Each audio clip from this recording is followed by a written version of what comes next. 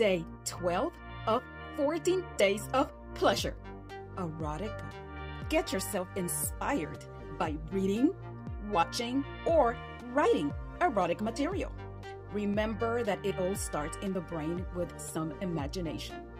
Erotic material can go a long way in getting yourself eroticized.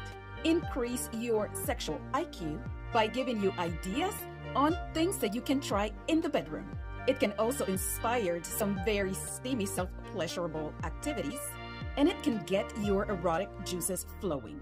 If you need a little help in getting yourself turned on, go ahead and seek some material to your own preference and liking. You don't have to come up with all the ideas. Some ideas have already been written and created for you.